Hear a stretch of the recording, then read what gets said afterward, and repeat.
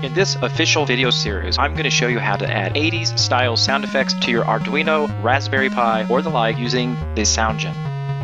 Fair warning, this tutorial contains sudden bursts of music, loud beeps, and other strange sound effects that your coworkers might find rather annoying. Headphones are highly recommended. Now, if you've heard of the Soundgin and were thinking it's just another MP3 player or some other sort of simple record and playback device, you'd be mistaken. It's not. Instead, it's a sound synthesizer. That is to say that it uses mathematical formulas which use values that you supply to generate sounds in real time. All sorts of interesting and complex sounds. From music to alarms to beeps to touch tone to singing robots to zaps to sounds you have never heard of before. The Soundgin has literally trillions of possible mathematical configurations. Here is what just a few of them sound like.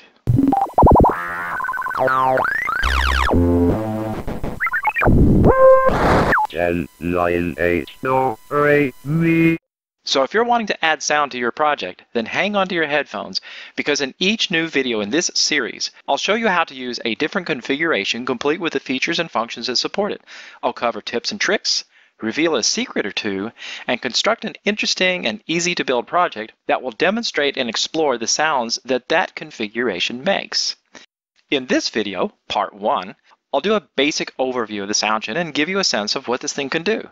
I'll explain its block diagram, discuss the theory of operation, explore the kinds of sound effects it can make, and then show you how to make the Soundgin make sound. So let's get started. The Soundgin's block diagram, which shows all of the Soundgin's core components, may look complicated, but it's actually pretty easy to understand when you break it down.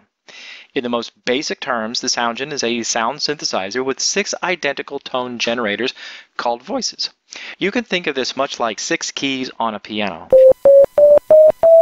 But unlike a piano, where every key makes the same sound played at a different frequency, the six voices of the Soundgin can be independently configured by a number of different controls to produce a variety of different sounds.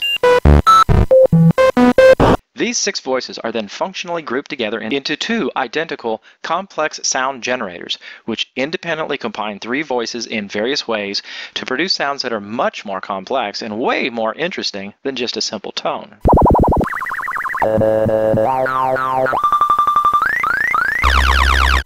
A, ah, er. To get a sense of what these two complex sound generators are capable of, consider this. Each one of them was designed to function like the vintage yet still popular AY389 series of sound synthesizer chips found in many different vintage computer products such as the Intellivision, the Spectrum, the Mockingboard for the Apple II computer, and many, many others that created the signature sound of the 80s video game. Tell me in the comments how many of these you recognize.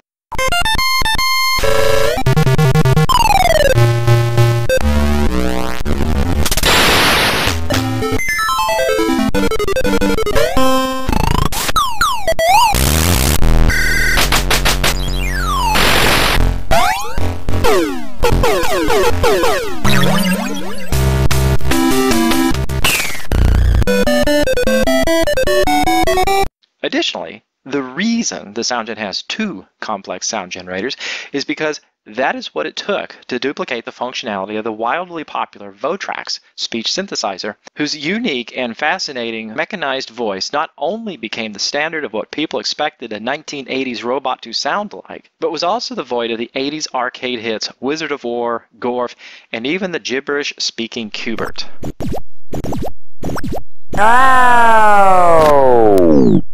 Now, in order to understand how to configure the Soundgin to generate sounds like the ones you have been hearing, we need to start by looking at a single voice. As mentioned, all six voices are identical and consist of their own set of various controls that contribute to their final output sound.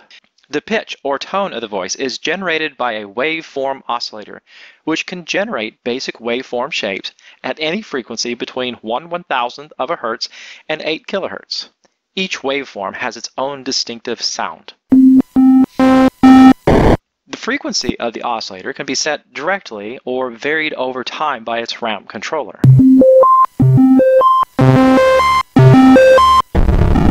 Additionally, pulse width modulation, which changes the duty cycle of a square wave, and distortion, which adds a specified amount of randomness to the frequency, can be applied. The volume dynamics of the voice are controlled by an amplitude regulator, which can also be set directly or varied over time by its ramp controller. Additionally, an ADSR envelope can be applied, which, when triggered, creates an amplitude envelope with programmable rates of increasing and decreasing volume that result in that played on a keyboard sound. The ramp controllers, when triggered, will modify the frequency and amplitude over time at a specified rate until the frequency and amplitude reach a specified value. This allows one sound to morph into another, which is heavily used in speech synthesis because if you think about it, when you speak, your mouth continues to make sound as it moves from one phoneme's position to the next. To see what I mean, sing along with the Soundgin a couple of times, paying attention to the sounds your mouth is making in the in-between phoneme positions. Yay, yay. I'm crazy, of you. It won't be a childish marriage, I can but you look sweet. Um, out for. We'll take a behind-the-scenes detailed look at how all these controls contribute to the final output sound of the voice in future episodes. But for now, let's move on to how the voice output of the six voices can interact with and affect each other. As mentioned, the voices are grouped into a set of two identical complex sound generators. Each one is able to generate a complex sound by using a technique called modulation. This is where the magic happens. Using modulation, Three simple sounds can be turned into sophisticated sound effects. Here's how it works. The waveform of the second voice is used to control the amplitude of the first in a process called amplitude modulation.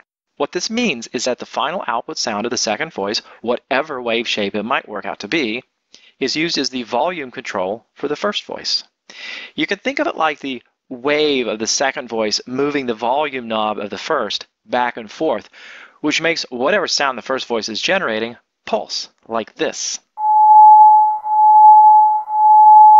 In addition to that, the waveform of the third voice is used to control the frequency of the first in a process called frequency modulation. You could think of this one as the wave of the third moving the frequency knob of the first, which makes its sound warble, like this. Combining those two kinds of modulations together at the same time will get you a complex sound like this. Now, remember how all the waveform oscillators have these different waveform shapes that produced these sounds? Well, producing sound isn't the only use they have. Using those different waveforms with varying frequency, amplitude, distortion, pulse widths on all three voices while modulating will give you a fantastically huge number of different complex sounds like these.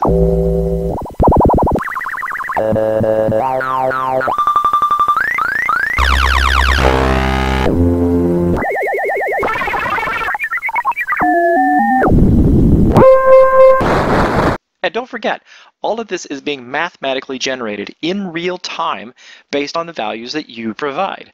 This means that your Arduino or Raspberry Pi can change the sound it's currently making in a variety of different ways simply by changing the values to reflect some changing status in your project. For instance, starting with a complex sound of any sort, you can change the frequency of one of the modulation inputs based on the distance between a robot and the wall, which will create a distance indicator sound that changes as the robot approaches the wall.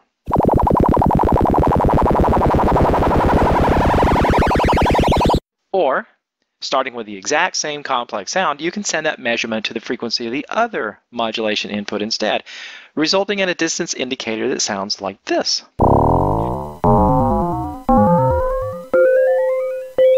So at this point in time, I'm sure your mind is churning with possibilities, and you're probably wondering how to hook a Soundgin up to your project. It's not hard. In the minimum configuration, all it takes is one wire, two if you count ground. Let's take another look at the block diagram to see what that wire does. As you can see at the bottom, there's a series of control blocks which, of course, control all that sound making stuff. And on the far right is a block called the serial command decoder. This is the part that allows your processor to tell the Soundgin what to do. It monitors a single serial input, which is connected to your processor through that single wire, and when it receives a command through that serial input from your Arduino or Raspberry Pi or whatever, it figures out what that command is telling it to do and does it. For instance, using the Arduino Soundgin library, the command set volume is used to set the volume of the different voices. This command takes two arguments, the voice and the volume.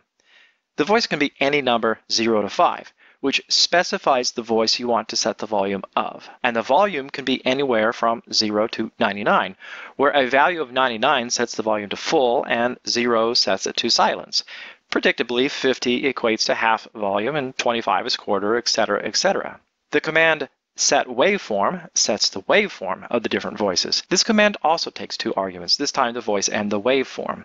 Again, the voice can be any number 0 to 5. The waveform can also be anything 0 to 5, where a value of 0 generates a sine wave, a 1 generates a triangle wave, and a 2 gets you a sawtooth wave, and so on and so forth. The Soundgin library has name constants for these waveforms to make coding easy to read because, you know, having the word sine or triangle or saw in the code conveys much more information than just their numeric equivalent does.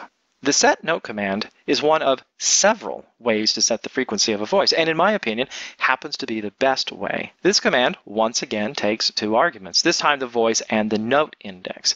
Like before, the voice argument selects which voice. The note index can be any number 0 to 95.